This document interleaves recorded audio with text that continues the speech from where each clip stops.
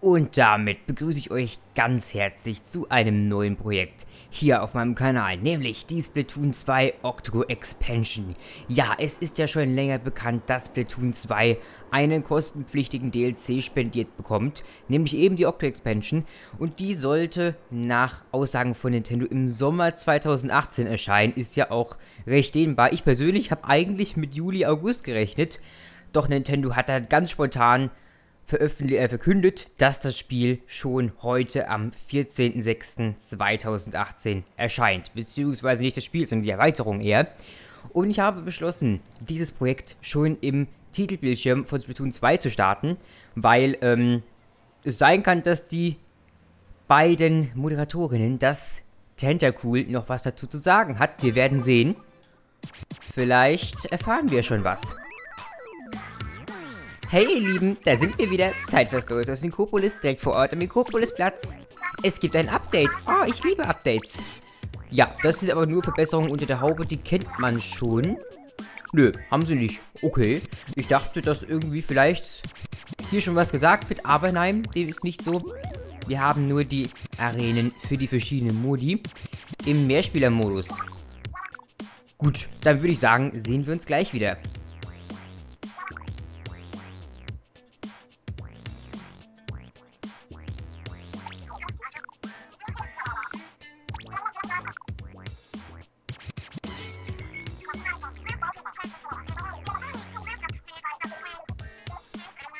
Da ist doch noch was. Alle coolen Kids in der Stadt tragen diese seltsamen gewählten Haare. Oh? Äh, ja, das stimmt. Es ist nur eine Frage der Zeit, bis diese Frisuren das nächste große Ding werden.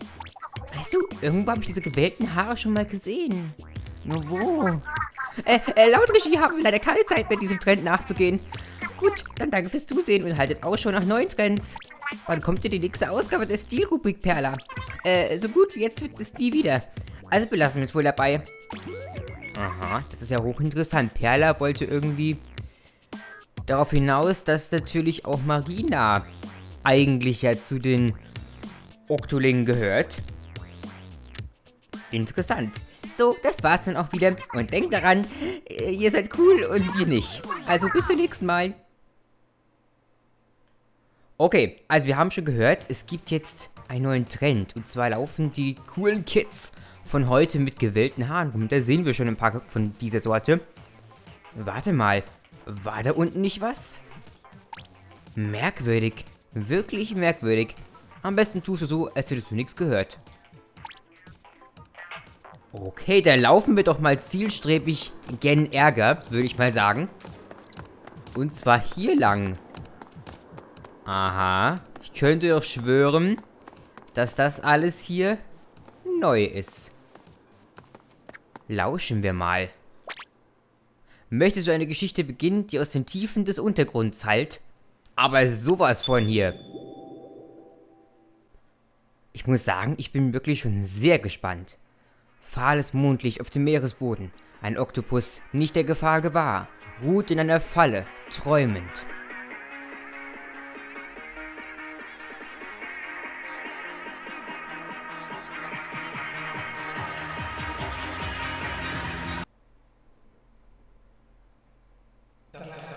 Hey, du Oktoling.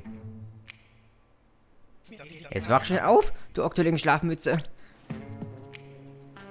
Aha, bist du endlich wach? Dann kann der Kampf weitergehen. Greif dir deine Waffe. Das würde ich zumindest sagen, wenn du deine Waffe nicht verloren hättest. Du Dussel. Ach, die Jugend von heute, so unzuverlässig. Wo sind wir eigentlich hier?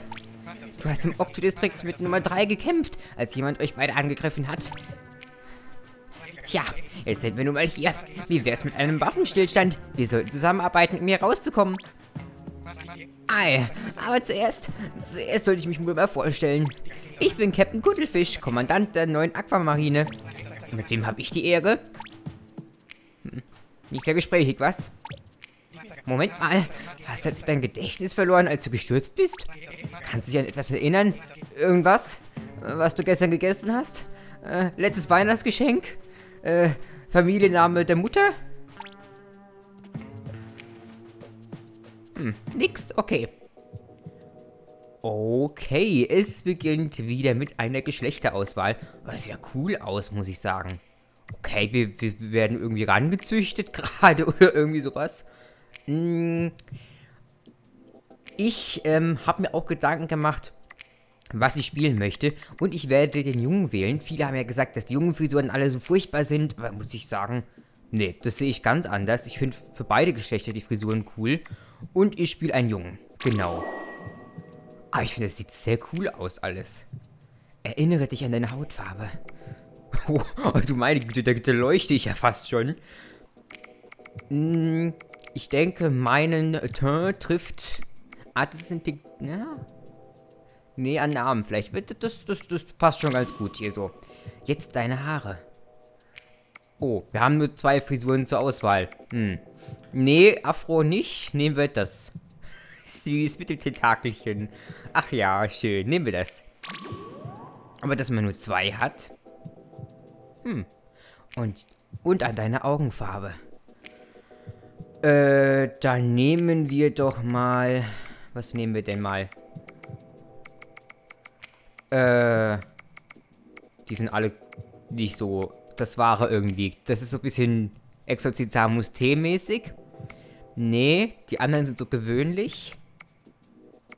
Das ist ganz schön, das ist ganz schön. Nee, das ist... Nee. Hm, ich will natürlich auch nicht so lange bei der Augenfarbe hängen bleiben. Nee, es tut mir leid, aber ich... Ja, man kann es wahrscheinlich sowieso noch ändern. Ich nehme jetzt einfach mal das, das da. So siehst du also aus? Ja, so ungefähr, sagen wir mal.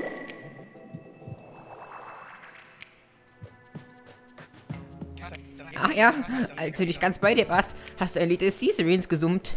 Kann es sein? Hat der Groove des Caesarines etwa deine Seele zum Klingen gebracht? Hm. Hm? Also du bist echt nicht so gesprächig, oder? Dein Schweigen deutlich als ein beherztes Ei-Ei-Captain. Vor zwei Jahren hat Nummer 3 gegen DJ Octavio gekämpft und die Musik des Caesarines. Ah, zwei Jahre ist das alles mittlerweile also her. Sie soll dabei die Herzen mancher Oktorianer berührt haben. Und du gehörst wohl dazu. Es tut mir auf alle Fälle leid, dass ich Nummer 3 auf dich gehetzt habe. Kein Fan des Caesarines kann mein Feind sein. Regel Nummer 1 im Leben. Wenn du soweit bist, folge mir. Ich brauche deine Hilfe, um den Weg herauszufinden. Und meine alten müden Knochen machen das nicht mehr lang mit. Also dann, suchen wir einen Ausgang.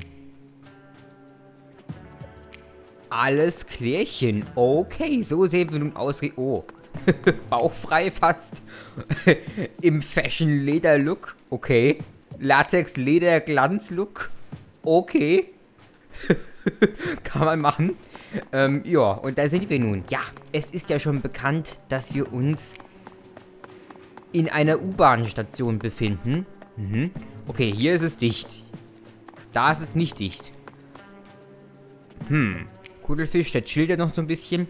Es ist alles sehr rätselhaft. Also, die Musik des Sea-Streams hat manche Oktorianer berührt und sie sind auf die helle Seite der Macht sozusagen, auf die gute Seite übergetreten. Zumindest habe ich das so gedeutet, was uns erzählt wurde. Das ist hochinteressant. Man hat sich ja auch gefragt, warum Marina eigentlich ein Oktoling ist und trotzdem, ja, zu den Guten gehört. Jetzt wissen wir es also, weil auch sie zu diesen guten Oktorianern gehört. Hm. Nur irgendwie fand ich es komisch, warum sind wir in so einem, weiß ich nicht, Fruchtwasser irgendwie aufgewacht. Das habe ich nicht so ganz verstanden, wie das jetzt alles so zusammenpasst. Aber gut, wir steigen einfach mal, ja, in die U-Bahn ein, ne? Gucken, was da so ist. Mhm. Hier ist es auch verbarrikadiert. Ja, ähm, weiß ich nicht. ICE 666 nach Inkopolis. Ostbahnhof. Oder so. Mhm. Bisschen leer, bisschen ramponiert irgendwie. Hallo. Und da sehen wir auch meine Octoling-Form. Ja, was soll man sagen? Sieht gut aus, muss ich sagen. Sieht gut aus. Also ich bin zufrieden mit dem Look. Ähm, ja, es ist halt so kahl geschoren. Und dann halt Haare oben nur. Wie, wie es auch im Real Life viele Leute tragen. Also mir gefällt's, muss ich sagen. Die andere Frage ist, haben wir da eine Fußfessel an oder ist das irgendwie so ein... Weiß man ja nicht. Oder vertraut uns der Kuttelfisch nicht so ganz? Nee, das ist irgendwie so ein... Wie heißen die Dinger? Die, die man sich an den Arm schlägt oder sowas. Hier ist Tinte auf jeden Fall, unsere. Tinte. Okay, da irgendwie, da endet so prompt die U-Bahn. Achso, die, ah, verstehe, das ist so das Ende. Wollen wir mal in den Tunnel reingehen, reinschwimmen? Aber ich muss sagen, es macht einen super tollen Eindruck. Ich bin schon sehr gespannt. Normalerweise sollte man ja eher nicht so im U-Bahn-Tunnel rumlaufen, aber ne, wir machen das einfach mal. Oh, sieht das alles cool aus. Ich bin ja mega geflasht. Was ist das hier für ein Ort? Aber hilft alles nichts. Es geht nur nach vorn. Das ist ja cool. Ein Container der Oktorianer. Für den brauchst du einen Schlüssel. Du bist doch ein Oktorianer. Du musst dich doch an diesen Ort erinnern. Nee, sagt mir nichts. Ich komme über diesen Leder-Latex-Anzug nicht hinweg. Aber ist okay. Nee. Okay, gut. Hm. Was haben wir hier? Wir haben, ich kann es le leider nicht aktivieren, oder? Na, nee. Leider nicht. Ich kann leider die Skate-Schiene noch nicht aktivieren. Was ist denn, wenn ich hier drauf trete? Ah, dann aktiviert die sich. Verstehe. Und sonst hier oben haben wir nichts. Hm. Alles höchst interessant. Spring mit Hilfe von ZL auf das Sepiadukt und schwimmen auf die andere Seite. Das könnten wir glatt mal machen. Nein, so hier. Okay. Mhm. Interessant, was ist das? Junior Kleckser und Klecksbombe. Okay, eine Ausrüstungskabine. Oder sowas in die Richtung haben wir gefunden. Okay. Und es geht gleich los. Oho, du hast in der Kabine eine Waffe bekommen. Mhm. Wir werden gleich ins Geschehen geschmissen, auf jeden Fall. Aber ich, ich finde es gut. Es ist alles so ein bisschen ankommen, reinkommen, aber gleichzeitig auch schon, ne, es geht wirklich los, glaube ich. Das finde ich sehr gut. Du scheinst der einzige Oktorianer weit und breit zu sein. Vielleicht ist hier sonst keiner. Wie dem auch sei, wir brauchen diesen Schlüssel. Hm. Da war nichts drin. Ich habe ihn eigentlich hier drin vermutet.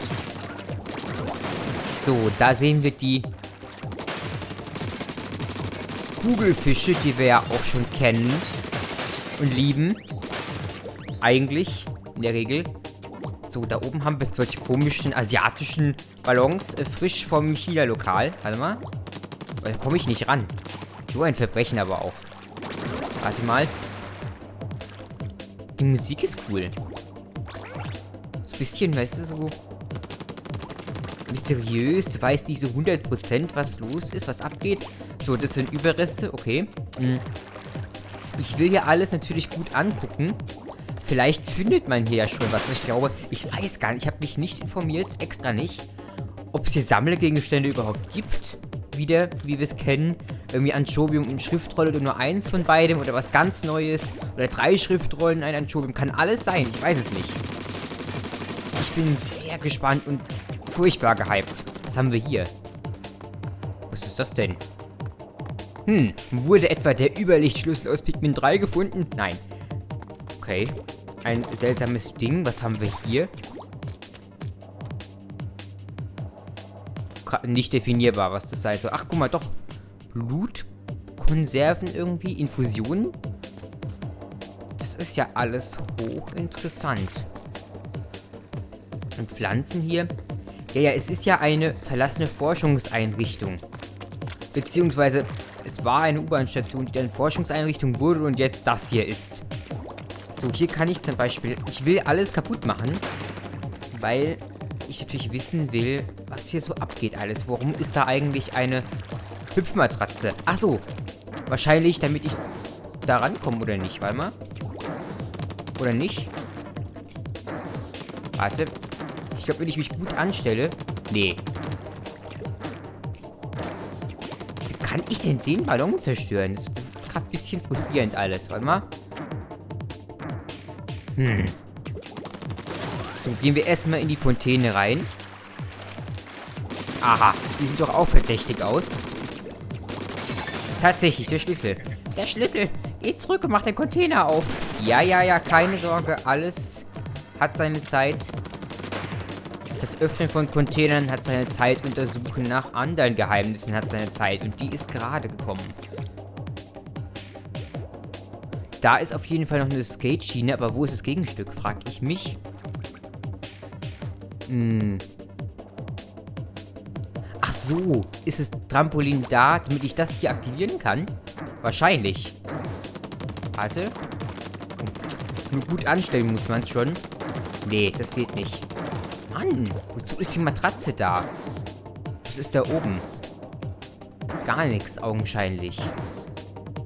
Kann ja alles irgendwie so nicht sein. Wahrscheinlich bin ich mal wieder viel zu übergründlich, aber ich will den Ballon einfach aus Prinzip zerstören. Oder muss ich dafür... Warte mal. Es geht schon gut los, wie man sieht. So, hier. Oh Mann, kann ich nicht drauf? Kann ich mir nicht vorstellen, warte. So. Ja, so nicht. Ach. Wie lange habe ich keinen Splatoon 2 Kampagnenmodus mehr gespielt? Ach, da ist eine unsichtbare Mauer. Ja, das erklärt's. Dann will ich versuchen, das... Das bringt mir auch nichts. Von hier aus... Nee, das ist, das ist alles umsonst. Ich glaube... Ich glaube, ich sammle erstmal den Schlüssel auf jeden Fall ein. Ja. Und was bringen wir hier? Diese Laufbänder eigentlich? So, bin ich hier. Und hier. Aha. Ach, die führt da. Ach so. Und hier ist doch ein Schwamm. Also wirklich eine... Da oben ist ein Zugpunkt. Schieß drauf. Ach so. Ich habe mich auch gewundert, warum hier so viele verschiedene Elemente rumstehen. Einfach wahrscheinlich, um mich da an die ganzen Sachen ranzuführen. So, jetzt habe ich ihn. Zumindest den. Hier ist aber sonst nichts. Okay, ja. Das ist alles nur Training hier. Nur gut. Hätte ja auch anders sein können. Man weiß es nicht. Aber ich glaube, jetzt bin ich hier echt durch. Ja, was soll hier noch groß sein? Gut, gehen wir zurück. Ah, und hier werde ich wieder entwaffnet. Nee, nee, nee, nee, nee. Stopp. Hey, deine Waffe ist wieder weg. Was ist denn das für ein komisches Gerät? Das frage ich mich auch, muss ich gestehen. Also mit Waffe kann ich leider hier nicht rumlaufen. So, schließen wir das auf. Das gefällt mir hier nicht, aber dann müssen wir wohl durch. Mhm. Es wird noch zwielichtiger. Ich meine, ich habe einen Leder-Latex-Anzug an, von daher passt das alles wie Arsch auf Eimer. Puh, zum Glück haben wir einen Weg nach... War zu schnell weg. Pardon. Draußen vielleicht? Aber jetzt sind wir... Einfach irgendwo anders. Wow. Wow. Wo sind wir? Einfach irgendwo anders. Das ist die... Hallo?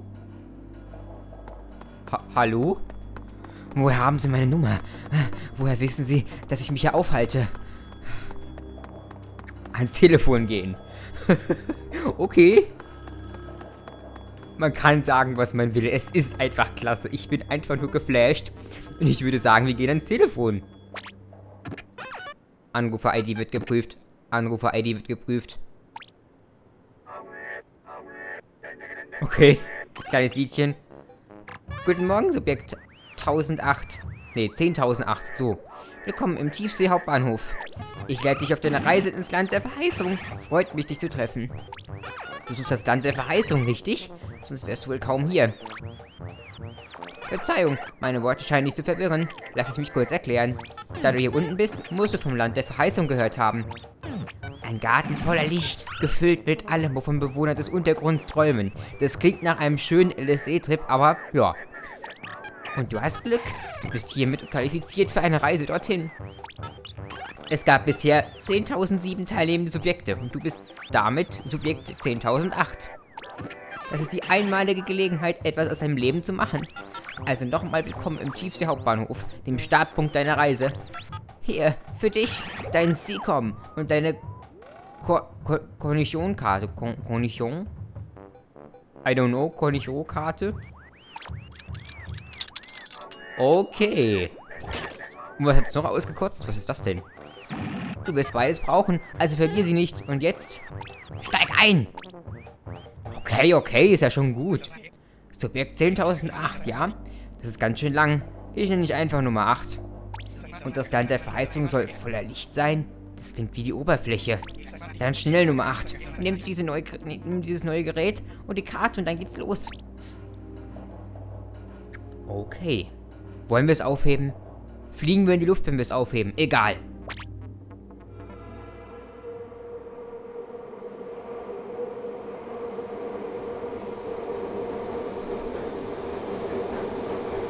Okay, da kommt was. Eine Bahn.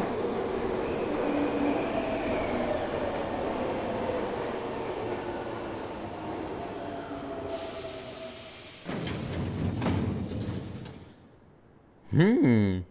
Okay, wir sollen doch hier noch was aufheben. Ach so, haben wir das schon. Gut. Das Telefon hat uns gesagt, wir sollen da einsteigen, also steigen wir da ein, würde ich doch mal fast behaupten.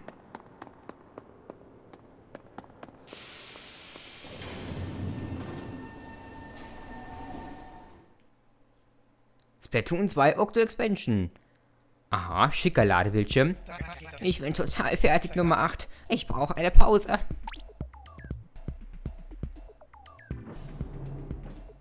Huch. Was ist das denn? Schaffner Cornichon. Wir freuen uns, Sie an Bord begrüßen zu dürfen. Ich bin heute Ihr Schaffner. Für Sie gerne Schaffner Cornichon. Ui, diese Seegurke kann sprechen. Oh, fahren Sie das erste Mal mit uns?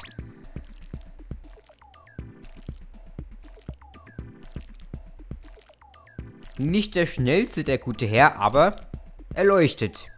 Und hat eine Mütze auf. Lassen Sie es mich erklären. Kamabo und Co. betreibt hier ein Untergrund-Testgelände.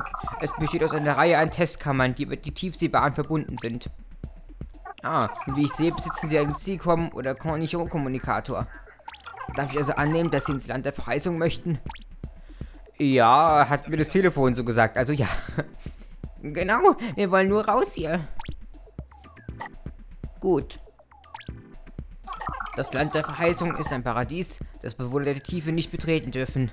Sie müssen an jeder Station eine Herausforderung bestehen. Außerdem müssen sie die vier Dingsbumse finden, dann ist der Weg frei. Ja, die, die vier Dingsbumse, ja. Auf jeden Fall.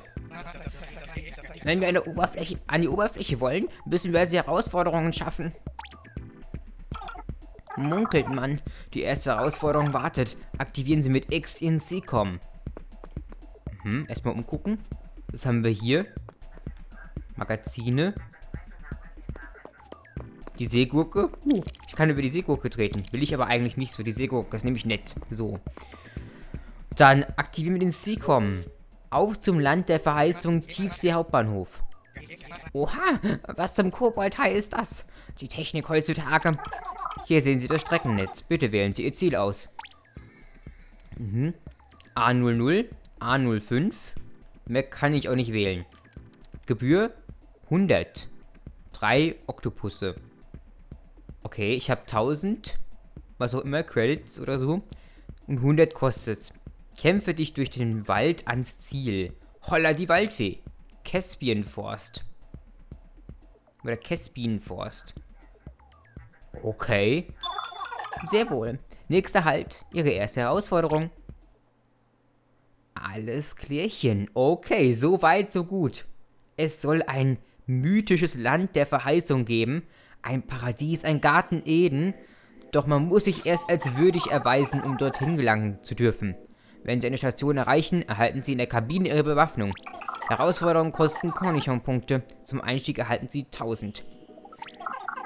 Die Gebühr zeigt, was Sie eine bestimmte Herausforderung an Punkten kostet. Unter Belohnung sehen Sie, was Sie für den Abschluss einer Station erhalten. Wählen Sie nun durch Drücken von A Ihre Waffe. Ja, viel Auswahl haben wir nicht. Wir können den Kleckser und die Klecksbombe nehmen. Als Belohnung bekommen wir 600. Sie finden mich in jeder Station hier am Bahnsteig. Wenn Sie Informationen zu einer Station benötigen, helfe ich Ihnen gerne. Okidoki, da ist die Seegurke. Mit ihr können wir sprechen. Schafft der Kornchen. Meistern Sie diesen Test, indem Sie das Ziel ausreichend Was? In diesem Wald ist die Sicht beschränkt. Seien Sie daher besonders vorsichtig. Alles klar. Okay. Das hier ist eine Zugangssperre. Drücken Sie ein Ihr A, um die Gebühr zu zahlen und die Herausforderung zu beginnen. Ohne genügend Cornichon-Punkte können Sie allerdings nicht anfangen. Okay, zahlen wir unsere 100. Alles klar, jetzt haben wir unsere Leben bekommen. Kämpfe dich durch den Wald ans Ziel. Räume mit einer Zugangssperre? Was ist hier los? Das frage ich mich allerdings auch. Was genau ist das alles hier? Ein Wald? Aha. Naja, so ganz unter Wasser scheint das ja nicht zu sein. Oktoling. Ziel erfasst. Müssen Oktolinge nicht Freunde von dir sein? Versuch's vielleicht mal mit Reden. Ziel eliminieren. Ja, die sind jetzt irgendwie nicht so freundlich gesonnen und ein bisschen auf Krawall gebürstet, glaube ich. Anscheinend wollen die dir nicht zuhören. Habe hab ich auch den Verdacht, muss ich gestehen. Okay. Die sahen aber sehr komisch aus. Ah, der Weg ist frei. Reden bringt also nichts. Da muss man Taten walten lassen. So sieht's wohl aus. Aber die sahen ja irgendwie nicht so gesund aus. Oder, ja, die. Hm. Vielleicht sind das Experimente? Künstlich erschaffene Soldaten? Okay, wir haben Rüstung bekommen. Wow, pünktlich wie immer. Gefunden von mir. So. Sammelgegenstände, wo seid ihr? Gibt es euch? So, ich kann nicht auf die Bäume, gut zu wissen. So, jetzt habe ich ein bisschen mehr an als hier nur mein Lederanzug. Immerhin ein Astronautenhelm. Sehr schön. Da hängt auch eine Infusion drin. Hm, haben wir hier noch was Schönes? Es sieht echt nicht so aus. So, auf geht's. Checkpoint. Ziel bestätigen und eliminieren. Noch mehr von denen. Zwei weitere Gegner gesichtet. Oh, und die haben... Schnapp sie die, bevor sie dich schnappen. Ist der Plan. Und die sind ausgestattet mit Waffen. Aha. Da hat jemand einen Pluviator und die hatte einen Roller gehabt. Ach du meine Herren hier. Es geht auf jeden Fall wieder gut zur Sache, glaube ich. Mist, Mist, Mist, Mist, Mist. Hallo? Mist. Komm her. Da ist sie. Okay, alles klar. Sie wirken irgendwie seelenlos. Hast du eine Ahnung, was hier passiert? Ah, das klären wir später. Jetzt geht's erstmal weiter. Also ich muss sagen, die wirken ziemlich seelenlos. Hm. Okay, so weit, so gut. Diese Fässer, die sind zur Deko da, okay. Hm. Haben wir was übersehen? Eigentlich nicht. Da oben vielleicht? Oder da oben? So. Sieht aber nicht so aus. Aber wir gucken zur Sicherheit trotzdem. Nee, hier ist nichts. Okay, alles klärchen, weiter geht's.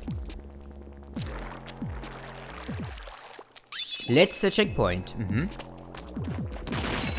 Gut, wir bekommen nochmal Rüstung. Es wird also nochmal heiß, heiß, heiß, denke ich. Und sogar Spezialwaffenaufladung haben wir bekommen. So. Ich denke, ja. Ziel bestätigen und eliminieren. Hallo? Oh, die ist ziemlich auf Krawall gelöst, merke ich gerade. Ach du meine Güte. Oh, irgendwie hast du es geschafft. Irgendwie, mit Ach und Krach. Das Tor ist offen, da geht's raus. Okay, das, das sieht auch interessant aus. Moment, Moment. Hm. Aber noch haben wir ja auch gar keinen Slot für Sammelgegenstände, ne? Ich dachte, den kriegen wir halt, wenn wir das erste Mal einen sehen. Was ist das? Kann ich damit... Nö. Okay, dann nicht. Gut, gehen wir ins Ziel. Okto Oktarianer gegen Oktarianer. Was für eine Welt. Da kann ich dir zustimmen. Ah, ich muss natürlich wieder gegenschießen. Ah, und dann baut sich das zusammen. Ah, okay. Dann ist es so ein Teil, das rammt sich dann da rein. Geschafft. Holla die Waldfee, Caspian Force, kämpfe dich durch den Wald ans Ziel. Okay, was, was war das eben, Philipp? Hä? Okay. Mein Glückwunsch, die, Ihre erste Herausforderung wäre geschafft. Was Sie am Ende erhalten haben, ist ein Kamabo-Souvenir. Für die Souvenirs wird der Inhalt Ihres Herzens in physische Form gepresst. Was? Wird der Inhalt ihres Herzens in physische Form gepresst. Kamaba und Co. vergibt sie als Erinnerung an gemeisterte Herausforderungen. Mit L und R können sie auf Ziel kommen, ihre Sammlung auswählen. Es sind neue Stationen verfügbar, an denen ihre Fähigkeiten geprüft werden. Sie können zu jeder mit, ja, Punkt, markierten Station reisen. Wir wünschen eine angenehme Fahrt. Hm? Hallo? Hallo? Ist das Ding an? Ah, ich glaube, ich habe eine Verbindung. Nummer 3, bitte kommen, over. Hey, was bist du für eine? Bitte was? Was ist das für eine Trolla? Perla, hab doch etwas Respekt vor dem alten, äh, Alter. W wo ist Nummer 3? Wer spricht da? Sag mir euren Namen. Äh, ich habe zuerst gefragt, aber egal. Ich bin Perla, aber nämlich MC Princess. Was? Jetzt kommen noch gleich Spitznamen ins Spiel hier, oder was? Okay. Ich bin süß und klein. Kommst du mit um, werd ich gemein. Oh nein, sie fängt an zu rappen hier halb. Tentacool ist da, drum sei auf der Hut. Dein Revier geht sonst unter in Tintenflut. Oha, sieh mal einer an. Du willst einen Rap-Battle, was? Da schneide ich mal an, du junges Gemüse. Captain Kuddelfisch hier haut die Reime raus, so spritzig und hart, dass ich es fast nicht mehr lesen kann, weil es zu schnell weg ist. Ist ja gut, ihr zwei, jetzt reicht's mal. Captain Kuddelfisch, ja? Wir haben hier ein Gerät gefunden und Ihre Nachricht gehört. Wir sind gerade auf dem Berg Krakus. Wo sind Sie? Der Krakus. Der ist doch beim Okto-Distrikt. Nummer 8 hier und ich waren dort. Aber jemand hat uns tief in den Untergrund gebracht. Also wissen Sie und diese Nummer 8 nicht, wo Sie sich gerade befinden? Tut mir leid. Aber keine Angst. Marina und ich, auch bekannt als DJ M R I N A oder Rina, DJ M Rina. Ach, DJ M Rina, verstehe. Steht Ihnen zur Seite. Ich werde Ihre Umgebung analysieren, das hilft Ihnen hoffentlich weiter. Ich verstehe zwar nicht, was los ist, aber entspannt euch, wir kriegen das schon hin. Also na gut, jemand, der rappt, kann nicht mein Feind sein. Danke für die Hilfe. Wir müssen Herausforderungen bestehen, die uns ins Land der Verheißung führen. Und mit wir meine ich dich, Nummer 8. Auf geht's. Ja, ich darf's richten, ich weiß. Das kenne ich mittlerweile schon. Okay, ihr Lieben, so weit, so gut. Es ist einiges auf uns eingeprasselt. Einiges ist immer noch nicht geklärt. Zum Beispiel, wer wir genau sind. Und vor allem... Oh Gott, bei dem krachen die Knochen ganz schön. Und ja, was mich wie gesagt irritiert hat, war, dass wir aufgewacht sind in so einem, ja, Zuchtbecken irgendwie so, ne? Hm, aber wir scheinen schon länger zu existieren. Oder auch nicht.